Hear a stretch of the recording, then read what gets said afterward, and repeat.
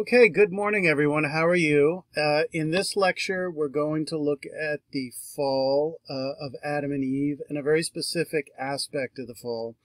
Um, uh, we're going to reiterate some of the things we've talked about before so we can really see, in terms of the cosmos, its structure, and the intrinsic, uh, you could call it the fly in the ointment.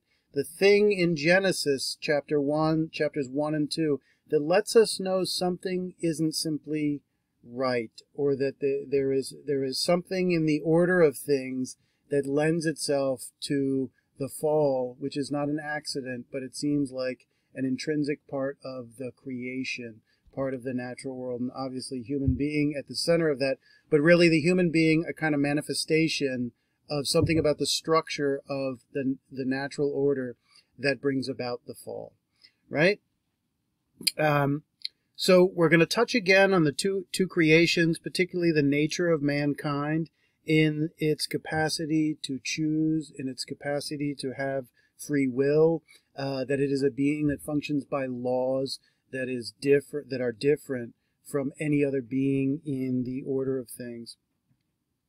In particular, we're going to look at the condition before the fall and what's that like, and the condition after the fall in relationship to these four key relationships uh, of human being. Number one is the human being has a relationship with themselves psychologically. Second, we have a relationship with each other socially, in this case, man and woman. Third, we have a relationship with the earth, dominion, caretaker, etc. Uh, and then lastly, obviously, we have a relationship with God. And the, the key point I want to draw out here is the transformation in all four of those relationships from before the fall to after the fall. And in a nutshell, it can be summed up this way. Before the fall is a state of harmony, consistent with the harmony that we see in the creation itself. After the fall, in all four of those categories or all four of those relationships, we see disharmony. And the details of that disharmony matter. Most intriguingly, and, and this is not lost on the tellers of this tale or the writers of the Bible. After the fall, we really become fully human. We are what we understand ourselves are today as, uh, as what we are today, as conscious, rational beings or beings with the capacity for reason and independent thought, right? So one of the elements of the nature of the human being is that up until the human being, God is the single locus of, you could say, agency or decision, choice, will, action, right? Because everything he set in motion uh, uh, is under the auspices of his own laws. And mankind, because of our conscious free will, reason, what have you, spark of reason, we have the capacity um, to act under our own powers. We are our own locus of, of power, and therefore we can give ourselves our own laws. And of course, the general teaching of the Bible is that man should not or does not uh, give themselves their own laws. At least if they do, consequences ensue, right? And this is why the commandment of God becomes important, because the basic premise of the Bible is that as ingenious as human beings are, their reason is sufficiently limited that they cannot act simply under the auspices of their own volition or literally give themselves laws. That's what it means to be autonomous. When we think of autonomous, we think of independent, but what it, the type of independence that's really being Im, implied by the concept of autonomy is literally giving oneself one owns, one's own rules of conduct or one's own laws for existence or for life, right? Uh, auto meaning self and nomi meaning law. We give ourselves laws. And this is how uh, the break between God and man is manifest. And of course, the twist, the twist that we're going to look at more next class uh, and next lecture is that transgression, uh, in our transgression, there is a cost, but there is also a benefit. And we're going to look at some interpreters who have looked at that story from different perspective and reached different, they're looking clearly at the same story, but reaching very different conclusions about the value and worth of uh, either abiding by God's commandment or following our own lights of reason, our own judgment, and so on and so forth. The one thing we're not going to look at this week is the specific meaning of the fruit and picking the fruit and what this all really represents symbolically. It should be, uh, I have to say, patently clear at this point that this story is only intelligible uh, as uh, in symbolic terms, figurative, poetic, metaphorical terms, that to take this story literally, uh, the, the, story actually indicates that it, it, it's unintelligible until you start interpreting these symbols, right? Um, and, and obviously, the history of biblical interpretation has accepted the principle that there uh, that these stories require figurative or even poetic interpretation, right? That that's that's not a mystery. Um, that said, uh, to say that we're not going to take the story literally does not mean we're going to gloss over what the text says. I would argue just the opposite, that taking the story figuratively means a really full understanding of what is literally being said and the specifics and the details of what's literally being said before we get to the to the bigger meaning. Okay, one thing before we get started here uh, that we're going to look at uh, to indicate the meaning of the fall before to after is simply the language the text uses. We talked about the way in which the very uh, dimensional, physical, material structure of the cosmos is literally manifest in the language. God created heaven and earth. God, heaven, earth, right? In this hierarchy. And then we saw light and dark, moon, sun and moon, day and night, and so on and so forth. So you saw hierarchy and duality, and you really see it manifest in the structure and arrangement of the language and obviously the, the language itself. So we're going to just look for a moment in this lecture at the transformation of the language, words that are used before the fall, and uh, essentially parallel terms that are used after the fall that now describe, excuse me, a different condition, right? Which is to say, in the beginning, a kind of utopian world, but one that's utopian precisely because we're not aware of uh, the social and moral complexity because we're not fully conscious. Afterward, what happens? Their, their eyes become clear, they see, and in seeing, they, they be, are able to know. It's, it's obviously it seems to be the case, or it just becomes apparent in looking at the story, that prior to the fall, they don't have the capacity, or rather, they, they don't engage in the act of knowing or comprehending uh, or being conscious of. They have the seed kernel of that capacity, but it's not realized until that potential is is realized, which is to say, the actual picking of the fruit. Okay. You, so we should first say that the fall happens in the context of the cyclical transformations described in the Bible. And I'm not going to read the, the, this is basically giving you chapters 1 through 11, which I asked you to read at this point.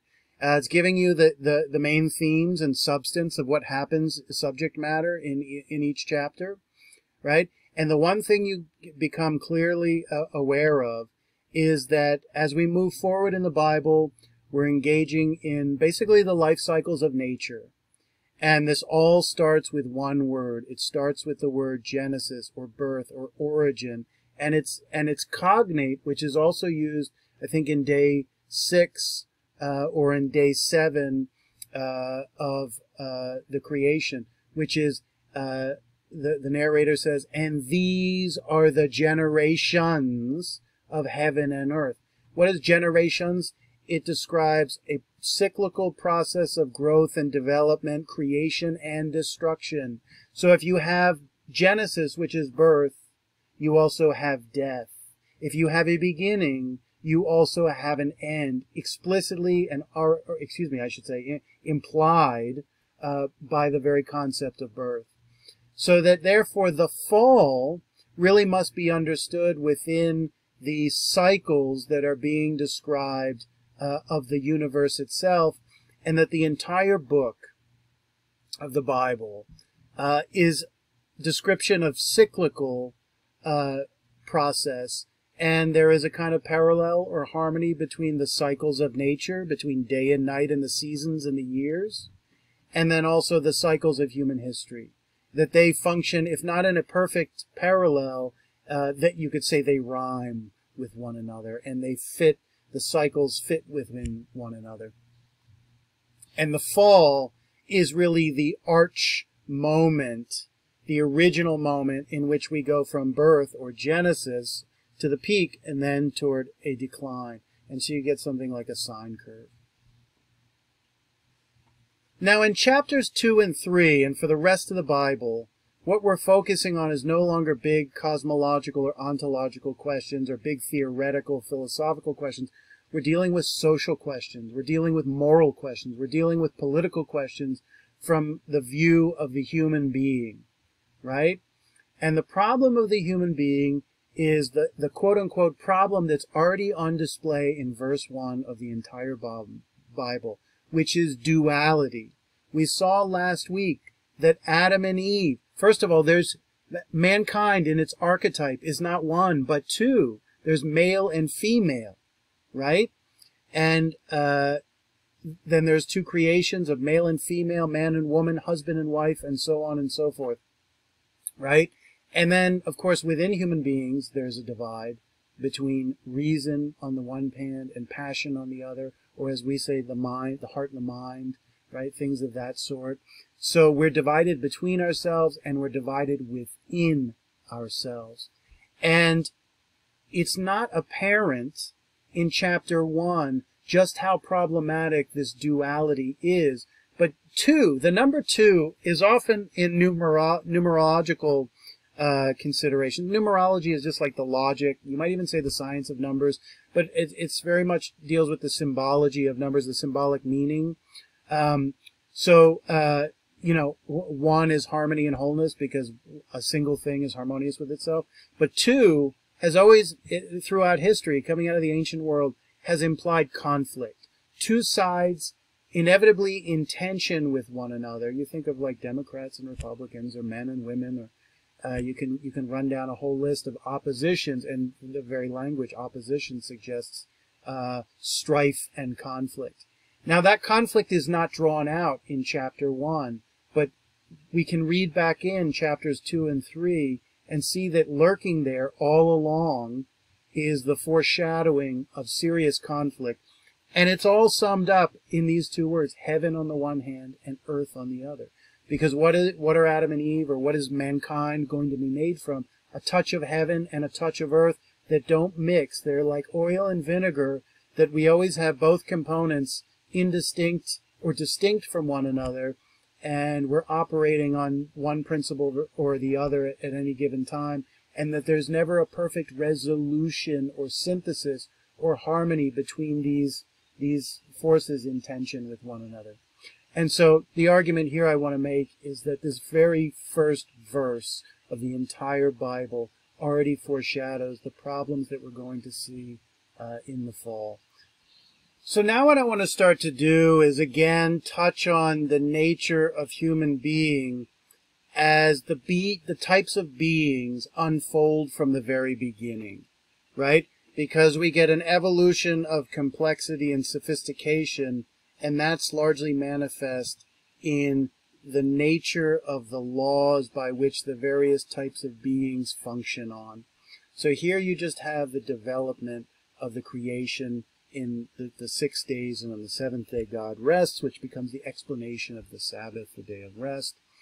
Um, so we start out with uh, inanimate things that are governed by, without going over in detail here, you just read them, uh, inanimate things governed by physical laws. Then you have things that are more complex chemical and biological laws. And then you get the human being who is not simply beholden to physical laws and can make choices. Therefore, mankind necessitates a moral law. And of course, the problem of a moral law is that it can be broken, whereas a physical law cannot. So here you see the principles of creation and we start out with things that we establish something from nothing. Then we discriminate place from non-place. We have things in discrete locations because they've been organized. And then you have the first things that move, like the sun and the moon through the sky, right? And then you have things with locomotion, means meaning autonomous motion, like animals, the fish and the fowl and the cattle and the serpent and the, the, the things that creepeth upon the earth. And then you have action. And Kass uses the concept of action, and this is not unique to him, but he, he, he's one who really clarifies it. Action means something specific. Action means human life and uh, the underlying motor or spring of human life. Uh, locomotion is driven by uh, biological instinctual impulses, stimuli response, genetic genetic predispositions. Action results from choice, and choice is an intrinsically moral category, right? Uh, and therefore, action, an action taken, is one done not just simply impulsively, but under the domain of um, of morality, of and and assumptions or appearances of something being good or bad to an actor, right? Um, morality, in its broadest sense, simply refers to our understanding that we the world is or we code the world and that's a great dispute that's actually on display here in the genesis depending on how you want to understand the story from whose perspective something we'll pick up next class um, morality just attributes uh, good or bad to things. Either we uh, make the attribution, or the good or bad, or we identify it externally. Um, and good or bad, or good and evil, being distinguished from simple pleasure and pain. That's all we mean by morality here, which is human beings function on the categories of good and bad, good and evil, just and unjust, beneficial and harmful, as Aristotle says, rather than simply pleasure and pain which is to say there are certain painful things that we understand as good for us, therefore we're willing to suffer the pain. And we know certainly that there are pleasurable things that turn out to be bad for us, and therefore we ref refrain from those certain pleasures under the premise that in the bigger picture, our, in, our interest is going to be benefited or we are going to be benefited, so on. So that's what action means, voluntary motion and voluntary motion. If it's not dictated by impulses or genes or hardwiring, it's dictated by moral judgments of good and bad. So this slide just, in a one sense, reiterates what we've been talking about here in the way in which different beings function by different uh, laws. I mean, if you think about John Locke and some of the founding of the United States, the theory, the, the philosophy, political philosophy that went in, moral philosophy that went in the United States, um, he believed in something called natural law, that you could discern from uh, nature uh, the moral laws by which human beings should function. You could discern from human nature the moral laws by which we should function. Um, the point is, uh, if we imagine the creation as this beautiful watch with all these gears click, clicking and clipping away harmoniously, chunking away, all in sync with one another, uh, uh to the cosmic tick of the universe, the, the, the, the cycle of the seasons, mankind is the one, you might say, that can deviate from the order. Because God, the, the, the last rule that God imposes on the watch is to Adam and Eve to not pick the fruit from the tree of knowledge and good and evil.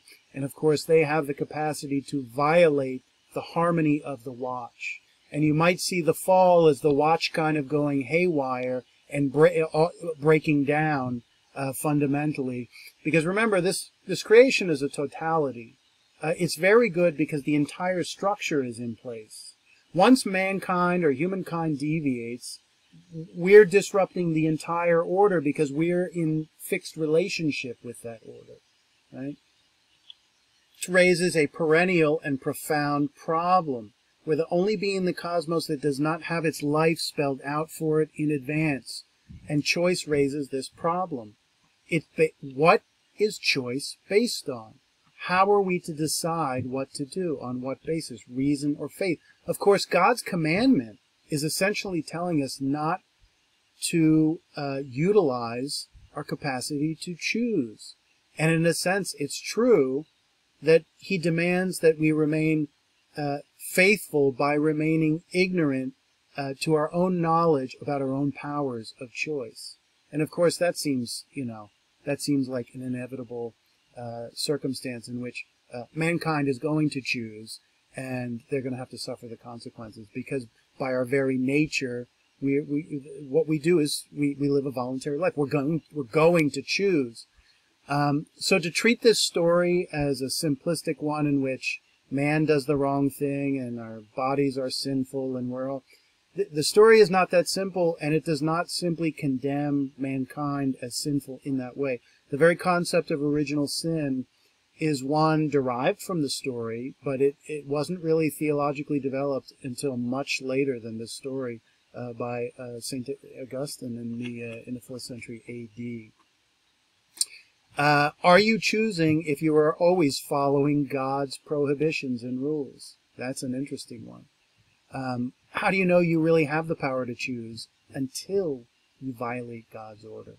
Are you living a distinctly human existence if you're dogmatically following the rules you have been given in advance? You've never tested them, right? You see some of the conundrums, and these are some things we're going to focus on in our next class. Conundrums. Must we choose in order to be fully human? I suppose all of you there listening to this video would prefer to be a human being with the power of choice. Uh, clearly, in the pre-fall uh, Adam and Eve, they are not fully human, right? They they are in a sense human animals, but they don't. They're not exercising those very faculties that say reason, choice, consciousness. They're not exercising those very faculties that God has given us that precisely differentiates and discriminates the human being from any other animal. And I suppose none of you wants to be just any other animal. You want to be a human being or a human animal. So the question, does God, this is a, almost a heretical question, but it's really posing this type of question, the story is. Does God want us to violate his edict? Now, the very asking of that question is, is rather provocative. Um, but mankind is clearly a walking conflict because of this. And, you know, this raises other questions uh, as to uh, who, who makes our history? Do we take history into our own hands through choice? Or do God or uh, nature, which is uh, God's manifestation in our world, um, does God really choose uh, our path? I've already talked about these things, but I, they need to be reiterated because now you're going to see them in a slightly different context. And I'm obviously not going to go through this whole slide here, but the key thing is whether we're looking at chapter 1 or chapter 2 version of the creation of Adam and Eve, there is a dualism fundamental to the human being. In the first one, we're made in the image of God. We are not God. An image is by nature a dualistic thing because it both is and is not the thing that it represents. And that is an intrinsic conflict. The photo both is your boyfriend or girlfriend, but is obviously it is not actually your boyfriend or girlfriend. So, and of course, we'll look at this next class, but to raise the question of image of God, well, obviously this is something to do with image of the attributes of God. It's not a visible image. God doesn't operate in time and space the way we do. To speak of an image is to misunderstand. So image is really a metaphor here. Likeness is a metaphor.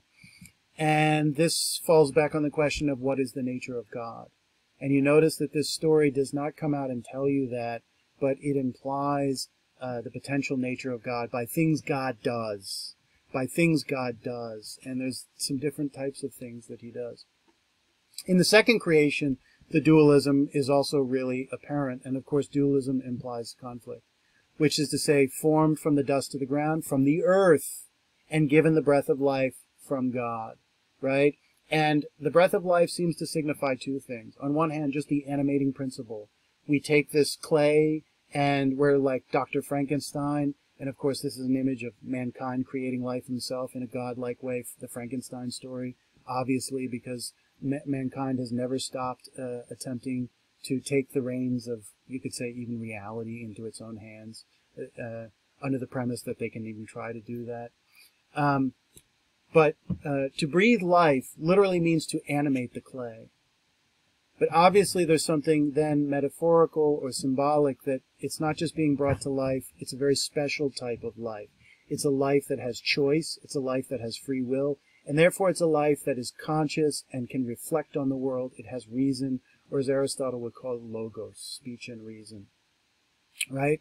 So it has always been generally understood that this breath of life wasn't simply uh, bringing to life, but also involved something like the spark of reason, the spark of consciousness, uh, and what have you.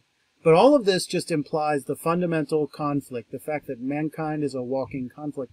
And what I found so profound about this observation put in a myth, notice this is a mythic account. Think about it. It's an observe, it, it is, it is a, a, a kind of strange, funky story, right? That sounds so ridiculous and implausible.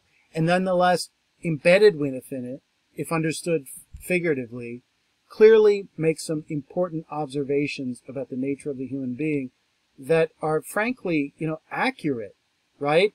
On one hand, to, to say we're the clay is to say we're an animal just like every other, subject to the physical laws of nature.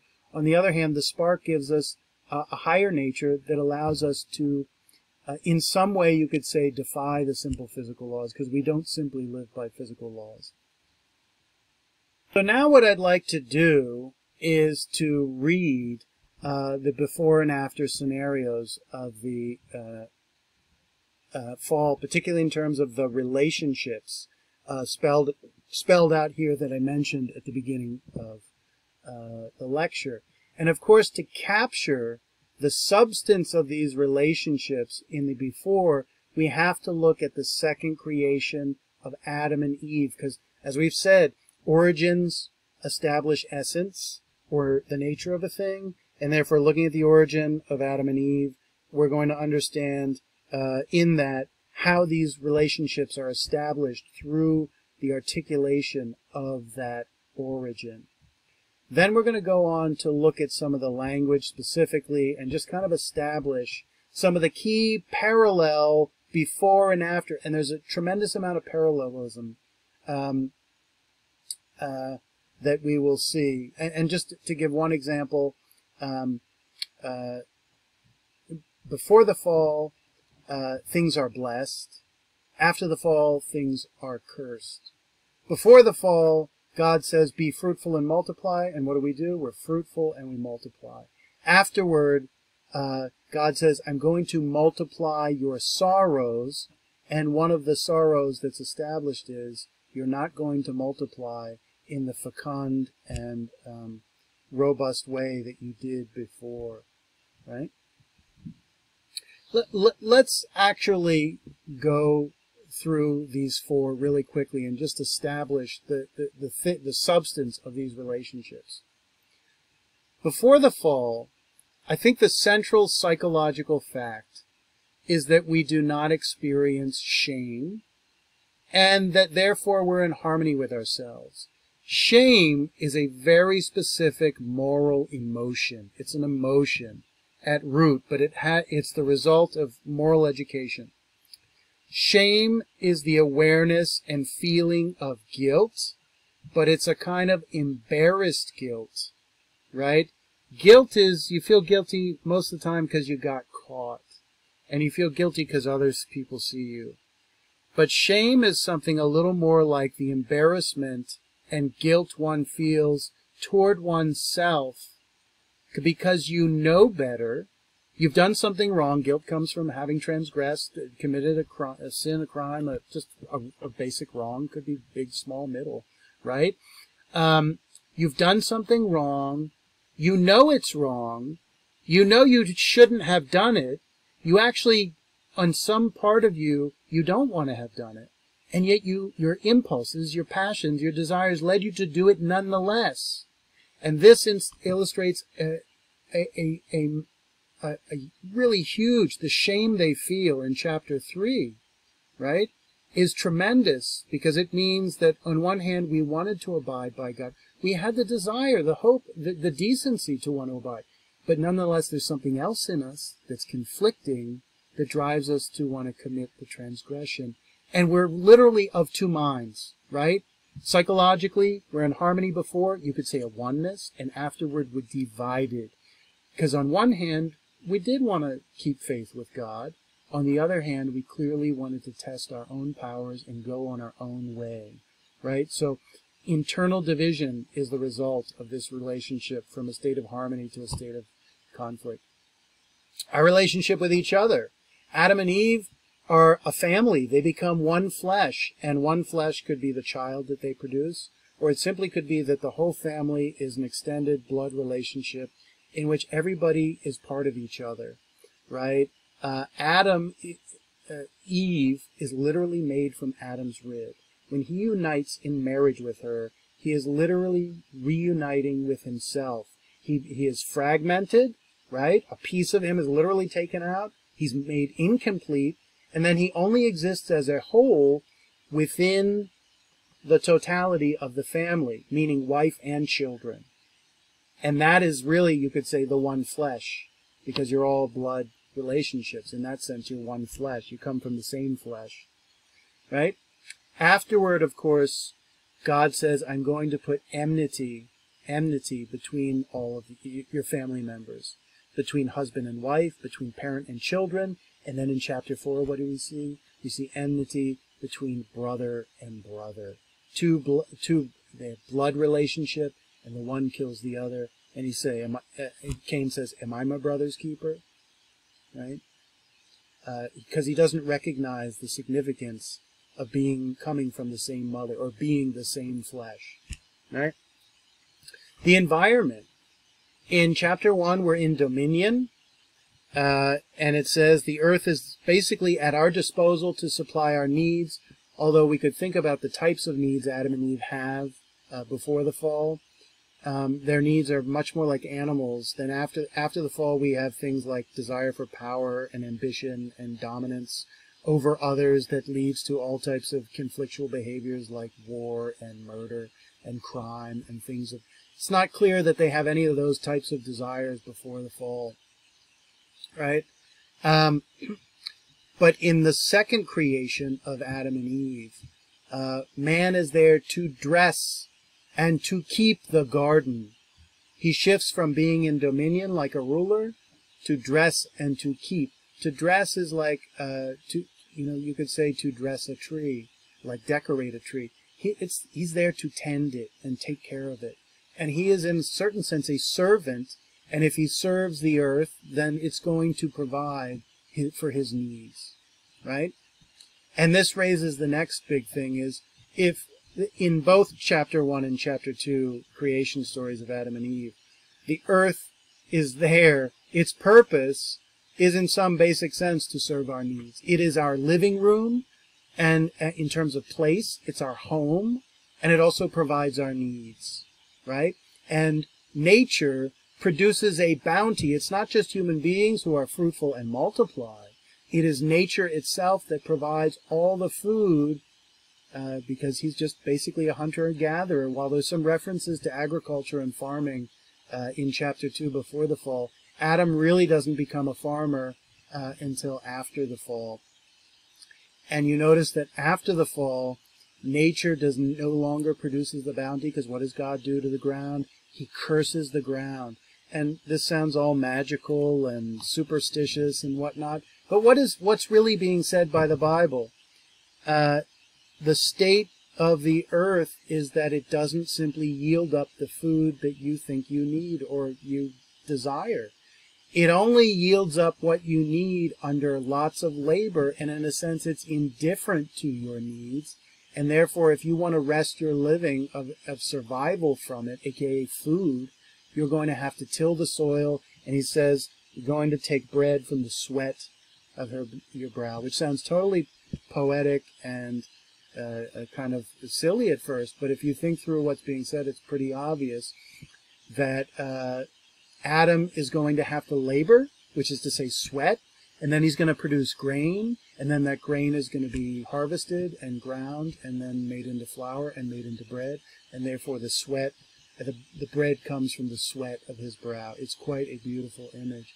And it, it exhibits that perfect kind of clipped quality of Brodsky where a number of, there's a whole chain of events to get from the sweat to the bread, and it's all condensed in one. And of course, you can see the logic of the statement and tease those things out. Then obviously our relationship with God is, is in fundamental sense severed. We get kicked out Uh, we lose our immortality because we no longer have access to the tree of life, which we did have access to beforehand. And this cherubim, here as described by Michelangelo or painted by Michelangelo with the flaming sword, bans us from entering back into the garden and picking from eternal life. And of course, I mean, obviously, this utopia of Eden is really, it's almost just a psychological projection of human desire. We live in the world after the fall. We've always lived there. But what do we desire?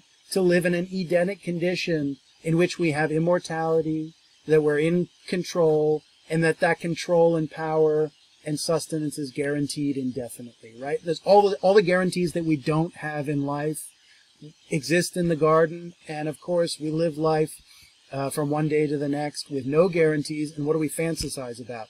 We fantasize about winning that metaphorical lottery that provides those guarantees till the day we die. Or for some people, they don't want to die. They want to live on forever, right? So our relationship with God is severed. And the most fascinating element of the Old Testament in its first five books is that significant character upon significant character, and certainly not everyone, but many of them, they strive with God, they dispute with God, they disagree with God, they violate his order. Even Noah implicitly violates God's uh, God's God's will, uh, e even as he's uh, you know the second Adam and uh, presented as a very decent man. It's a natural tendency of the human being to fall away from these uh, from these edicts that God has provided. And what's the basic premise of the motivation for falling away from God's order? Because we are a special type of being uh, with reason, with choice, with voluntary life that's obviously profoundly distinct from any other animal. We have tremendous pride. And we have so much pride that, that we think we can be like God and which simply means this, that we can completely dictate the terms of our own existence and turn away from uh, the, the, you might even just say the idea of God as a kind of limit or boundary on what's possible. And an awareness that we are what? This middle being. A little bit of heaven, a little bit of earth, but by having both, that forces us into this middle position. And of course, the moment human beings turn away from God or are blind to God or close their eyes to God, many metaphors throughout the Bible. Um, we think we can ascend to the heavens, like the story of uh, the Tower of Babel.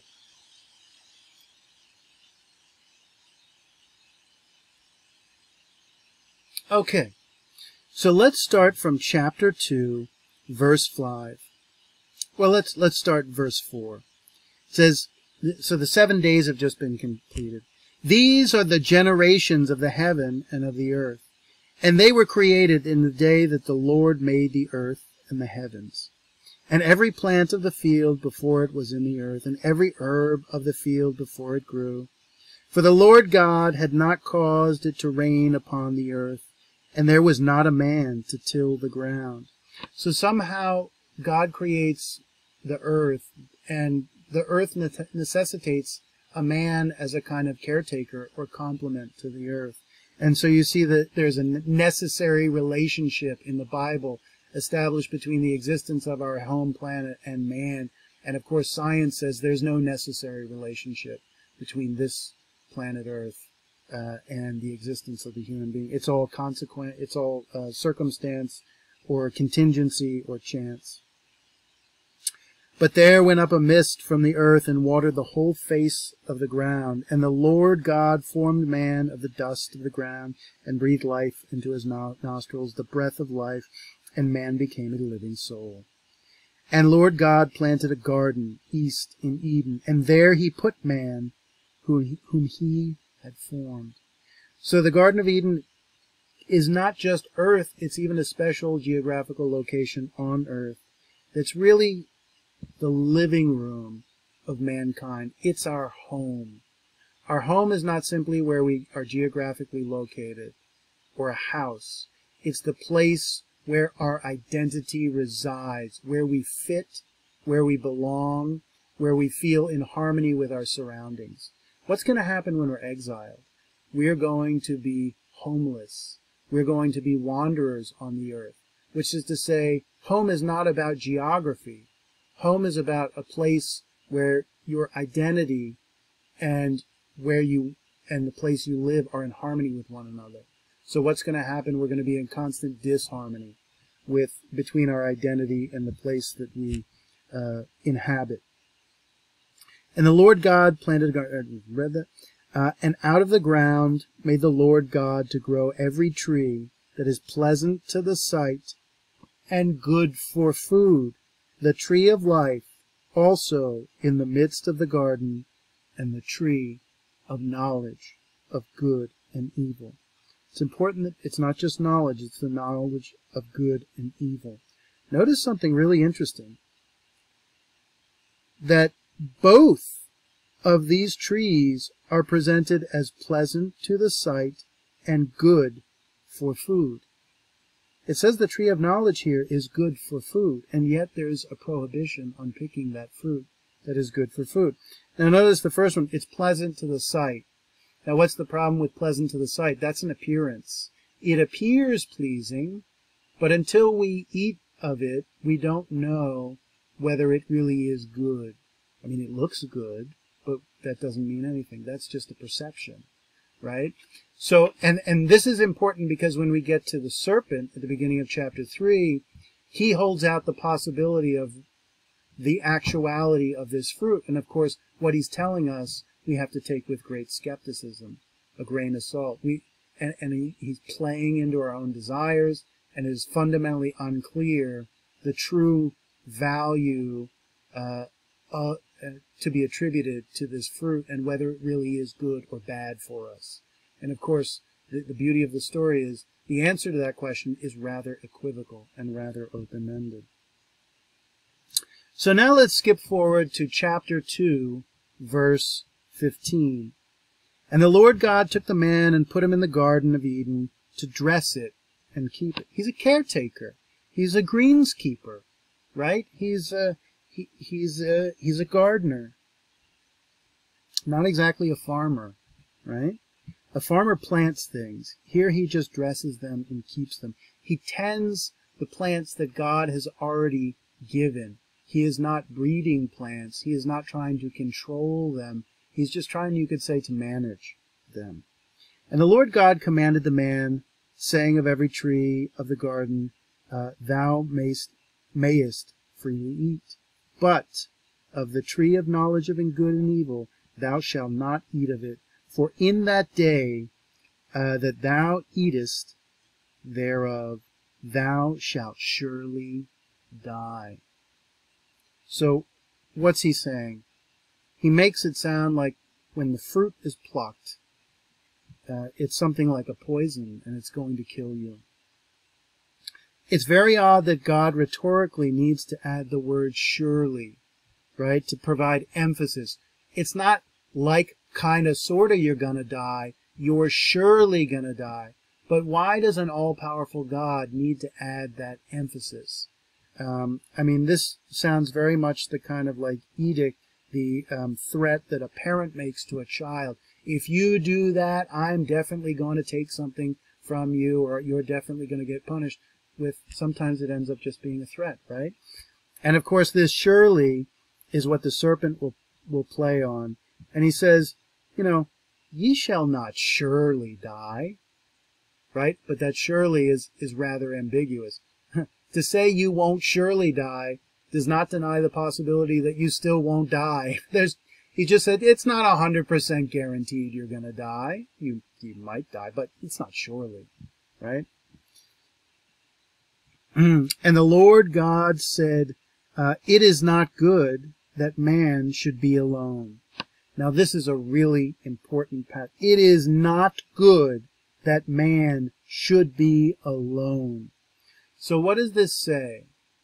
That this man is not self-sufficient. He is not independent. He is not a true individual, right? So by his very nature, it already implies that this man is incomplete. And now we're talking about the male of the species, right? Because a female is created. Um, he is dependent on other human beings, and he is only he is not complete by himself, but rather only completed uh, by coupling and producing a family.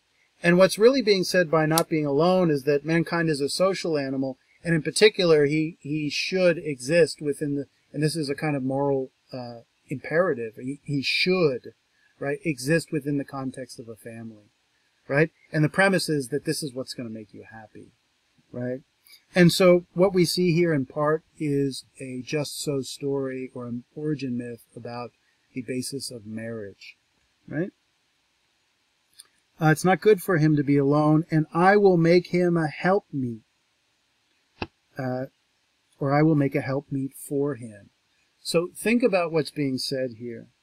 I think it's pretty clear that Eve's, all these dyads or binaries exist complementary. They, they are, they, they are dependent on one another, right? Just like master is dependent on slave, but you would never say a master is equal to a slave, right? Uh, a master can't be a master without a slave. So the master is actually dependent on the slave, right?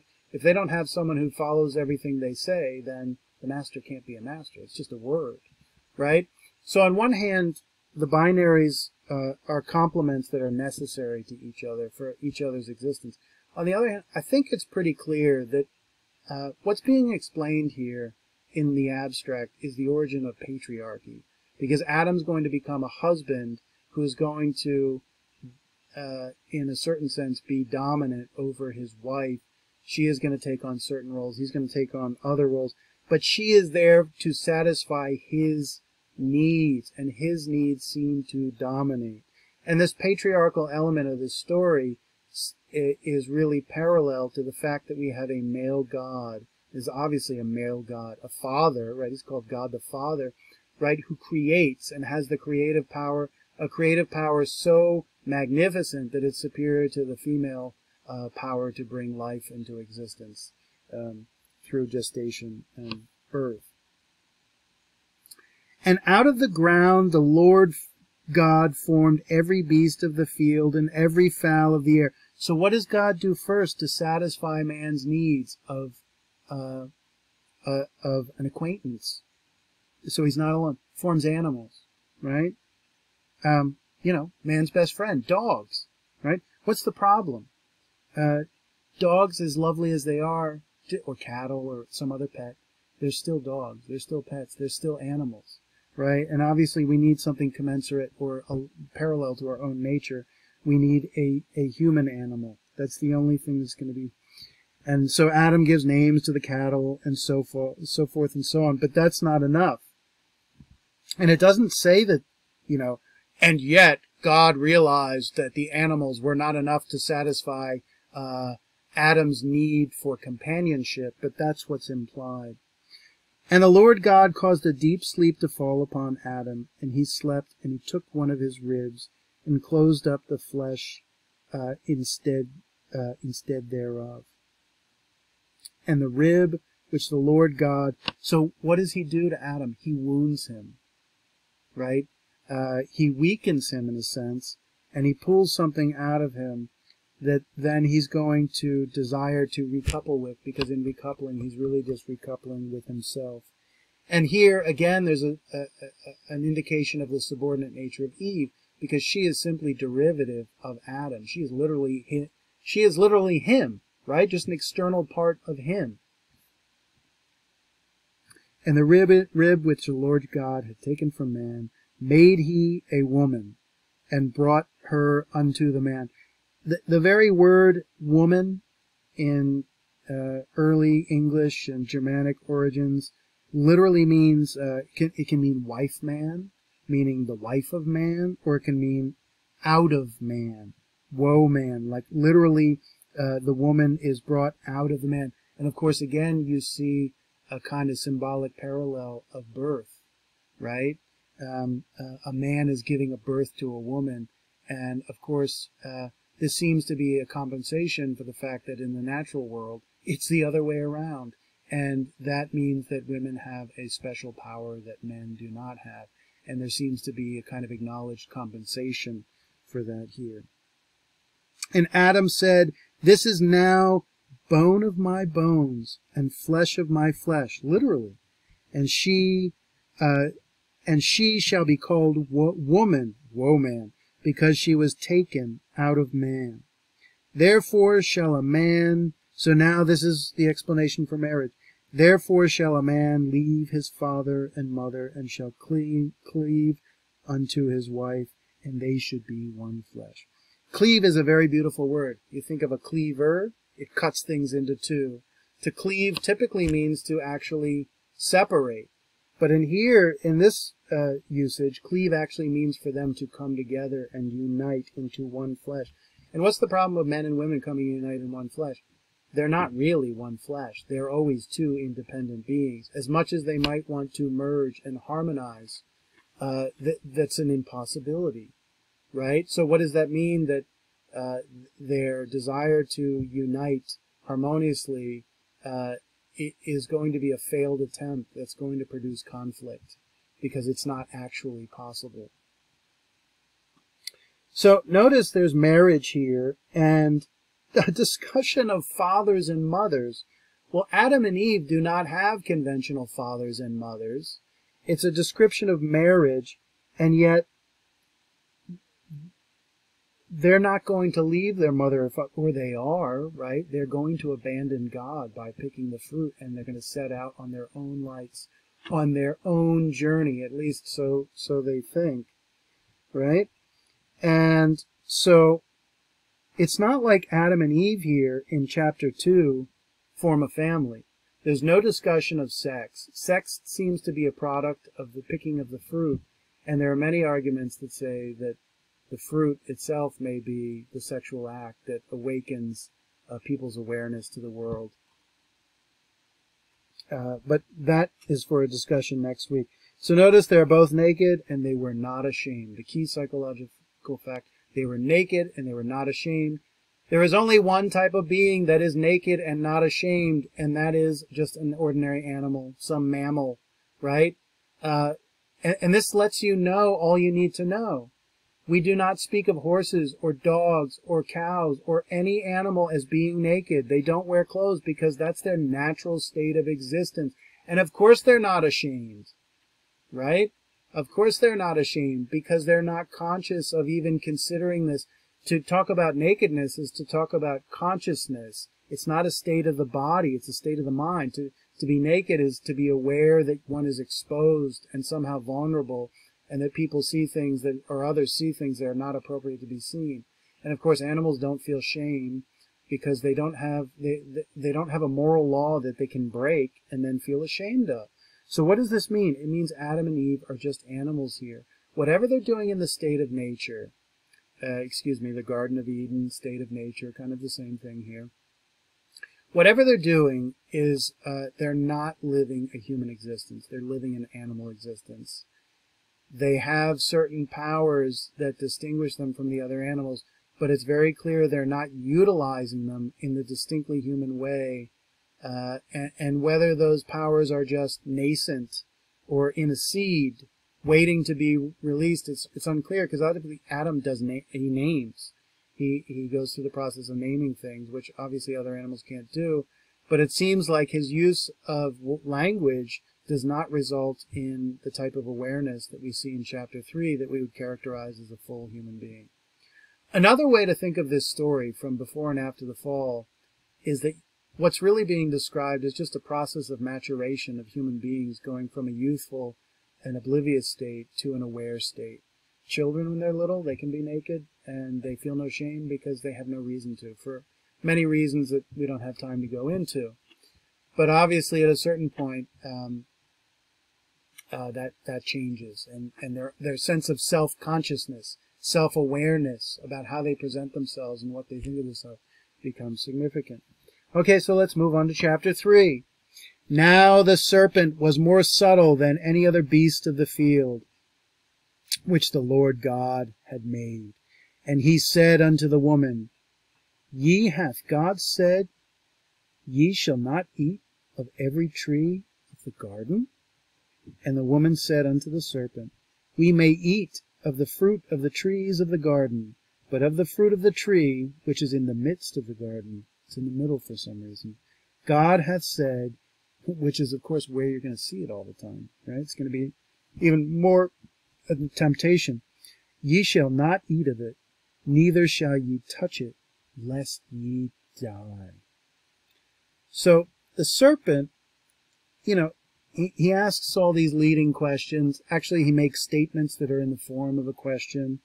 He already knows all the answers. He knows what he's doing here, and it's a profoundly mysterious story.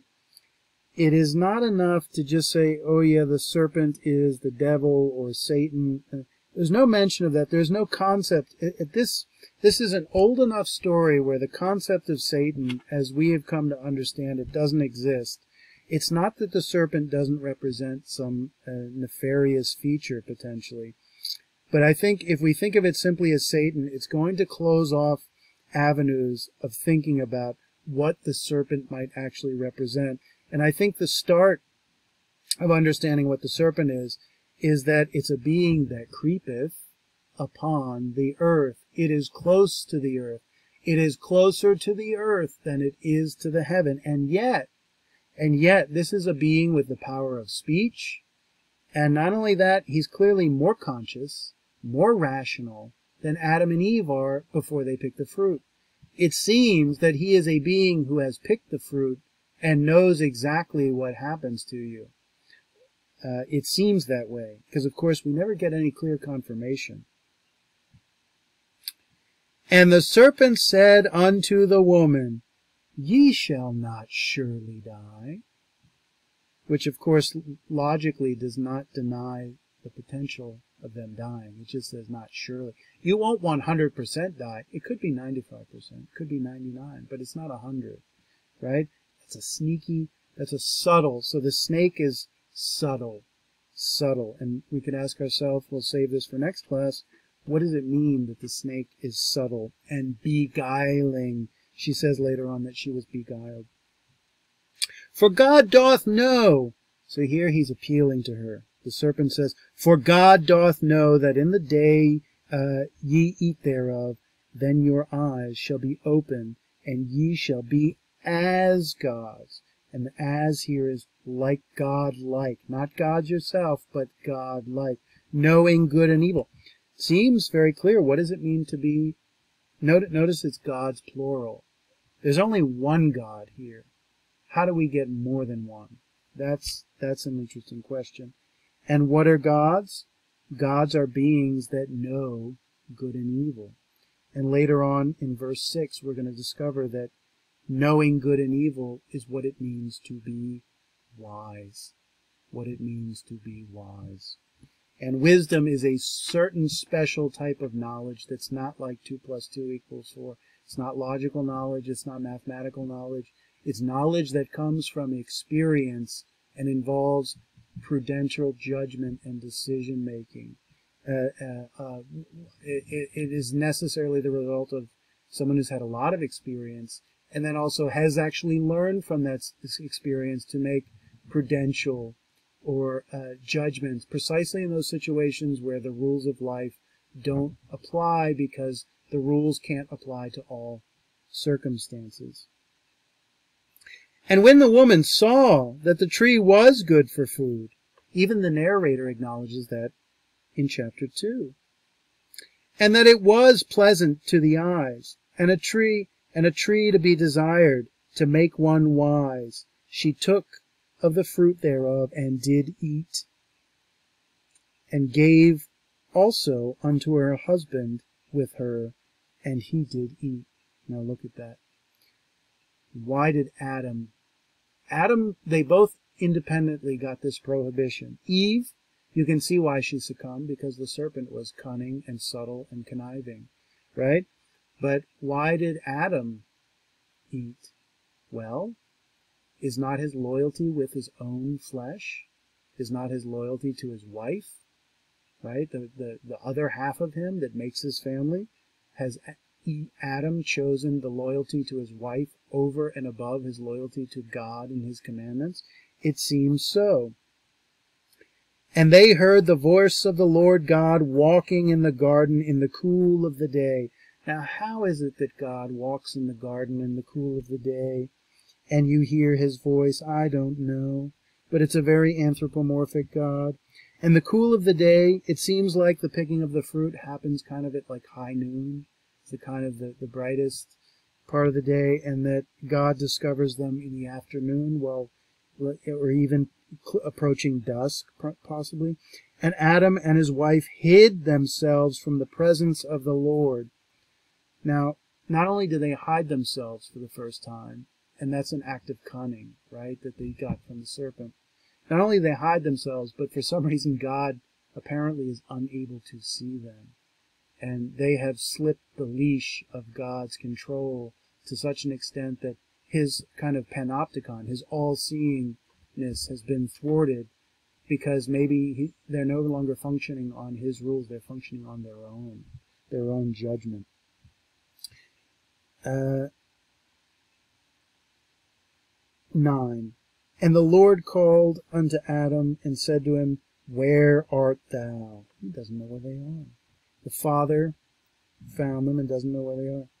And he said, I heard thy voice in the garden, and I was afraid, because I was naked, and I hid myself. So he feels shame. And he says, Who told thee that thou wast naked? Hast thou eaten of the tree whereof I commanded thee that thou shalt, shouldest not eat? And the man said, of course, typical man, The woman thou gave me to be with, gave, gave to be with me, she gave me the tree, and I did eat. So this is beautiful. This sets in. There was a whole chain of events here. God creates the earth and the serpent and mankind. Then the serpent tempts Eve. Then Eve tempts her husband. And now it goes back. The husband is the one who gets confronted, and she's he's going to go, me? My wife made me do it. And then Eve's going to go, me? The serpent made me do it right? And on down the line. So they don't acknowledge their own culpability. They've made a choice, right? But they don't accept responsibility and the for the very choice they've made. They try to displace it. It's so fascinating. And the Lord God said unto the woman, What is this that thou hast done? And the woman said, Thy serpent beguiled me, and I did eat. So beguile is to like charm or mesmerize. And the question is, what was the substance of what he really said that that uh, you could say seduced her to pick the fruit? What is the object of desire that she's seduced by? Because it obviously ain't an apple or a papaya or a mango, right? This fruit is a metaphor for something, uh, uh, some other type of desire. It's a symbol. now, once the discovery has been made and God serves as a kind of interlocutor, right? Someone commits a crime and then someone is, they're confronted by the authorities and say, what have you done? And people either fess up or they don't. We have that kind of, and now we get the punishment. Now we get the substance of the fall. Once God has determined that they have transgressed, now has the evidence. You could say their confession, right? And the Lord God, for, verse 14, and the Lord God said unto the serpent, Because thou hast done this, thou art cursed above all cattle, and above every beast of the field. Upon thy belly shalt thou go, and dust shalt thou eat all the days of thy life. So we have this kind of ascending and descending from the serpent up to E, Adam, and the Adam back to the serpent, and now the serpent's the first one to be condemned. And I will put enmity between thee and the woman, and because thy seed between her between thy seed and her seed, it shall bruise thy head, and thou shalt bruise his heel. Unto the woman he said, I will greatly multiply thy sorrow and thy conception. In sorrow, in sorrow thou shalt bring forth children, and and thy desire shall be to thine husband, and he shall rule over thee. So what's the consequence? She's not an equal. If it wasn't clear before, it's clear now that she's not an equal of her husband because she's going to be ruled, um, ruler and ruled. And of course, now we're talking about birth, right? And there's always much discussion of the relationship between picking the fruit and sex. Some type of God knowledge is gained, And eventually, after this, we're going to see in chapter 4 that the first thing they do is Adam knew his wife. Adam knew his wife, which is, means to have intercourse with her, which means to know what this experience is and to open up all the powers and feelings and pride that come with the sexual act. And what's, uh, what, you know, so the, the sorrow is, and the sexual desire and the feeling is, is a compensation for the suffering that's going to be caused in childbirth. Uh, and unto Adam he said, Because thou hast hearkened unto the voice of thy wife. So there it's acknowledged. God says, You have been loyal to your wife's voice, or to your wife, rather than to me and my commandment. It's quite clear. He has to choose. What's the next thing that gets divided? Divided loyalties. Before, all the loyalties are harmonious with one another, but now we realize there are competing loyalties that are incongruous with one another and ultimately, therefore, in conflict and hast eaten of the tree of which I commanded thee, saying, Thou shalt not eat of it. Cursed is the ground for thy sake. In sorrow shall thou eat, again sorrow, uh, of it all the days of thy life. Thorns also and thistles shall it bring forth uh, to thee, and thou shalt eat the herb of the field. In the sweat of thy face shalt thou eat bread till thou return unto the ground, for out of it wast thou taken. For dust thou art, unto dust shalt thou return. So you see here that nature itself, or the fauna and flora of the earth, are transformed into thorn and thistle. Now, thorn and thistle seems to be one thing. First of all, these are prickly things that are threatening, number one, uh, threaten your own preservation and your own security, but also they are not edible, right? These are not things that uh, are uh, useful. They're, they they lack utility, and it, and actually they they threaten uh, just the opposite. They're they're harmful as opposed to being useful. And so the only way you're going to get what you need from the earth is to become a farmer, which means you have to work so what's being introduced here that didn't exist in the utopian garden, which is the concept of scarcity, right? The concept of scarcity. Nature, you have needs as a human being, and nature is not going to simply meet your needs because you have them. You are going to have to try, and not everyone is going to succeed, right?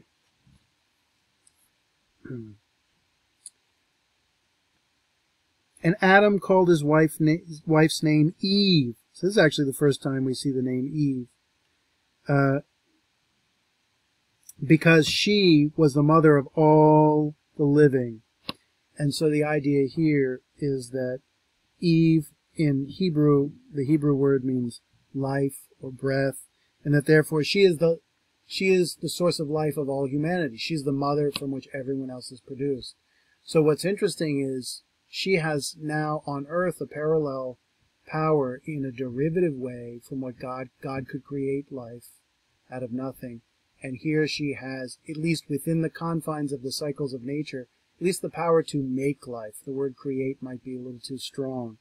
Um, but uh, she is given a, a, a, something like divine power. Not divine power, but something like it, derivative of it, rep, it reflects it, but it is not it. And the Lord God said, Behold, that man is become as one of us. That's just the royal we. To know good and evil. And now lest he put forth his hand and also take of the tree of life and eat and live forever. Uh, therefore the Lord God sent him forth from the Garden of Eden, exiled, to till the ground from whence he was taken.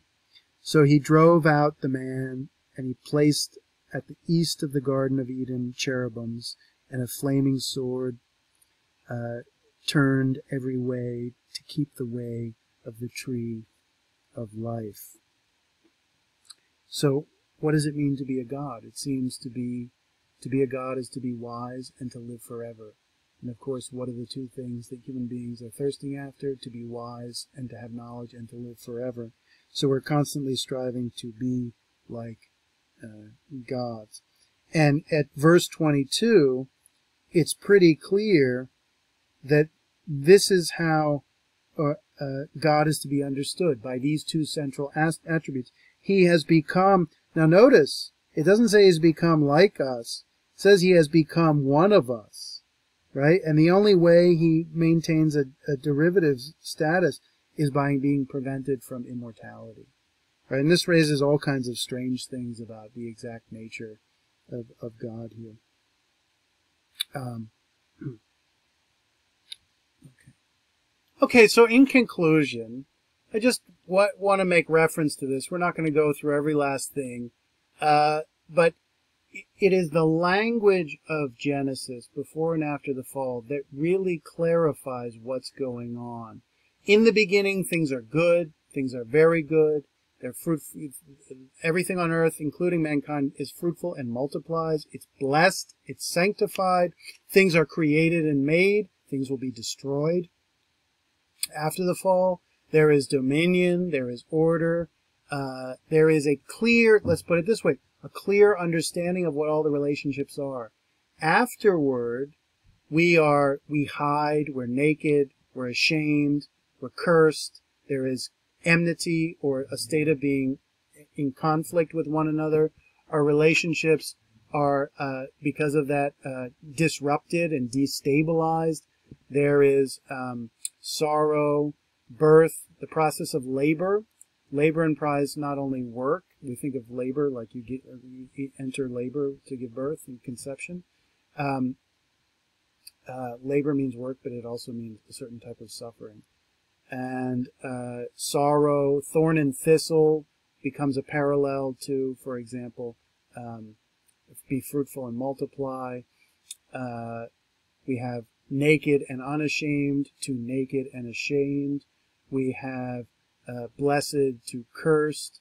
We have dominion to enmity. Uh, and everything seems to be disrupted here. And then lastly, I've just given you, in more general terms, some of the key transformations here from before to after the fall. We start and I just mentioned a couple significant ones, and we'll conclude. But we start out with a covenant, right? God has made a covenant with mankind here. And the word isn't used, that word covenant isn't used until Noah. He reaches a covenant with Noah. Um, but a covenant is a kind of social contract or compact. It's an agreement. So there's a basic agreement between Adam and Eve and God, at least implicit, that they will follow God's one commandment and they will enjoy the benefits of the garden. Uh, he says, You will surely die if you pick this fruit. So they break the covenant. And then the question is, what does it mean for them to die? What's, what's really happened to them? Uh, they go from a state of no suffering, no scarcity of bounty, to a state of suffering. But as we've seen, this entire transformation is not simply from a better state to a worse state.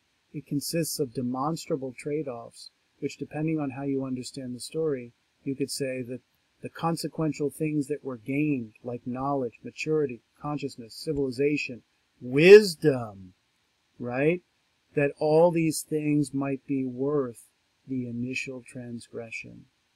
And how you feel about that says a lot about how you situate yourself within the context of this story. And I'll leave it with that.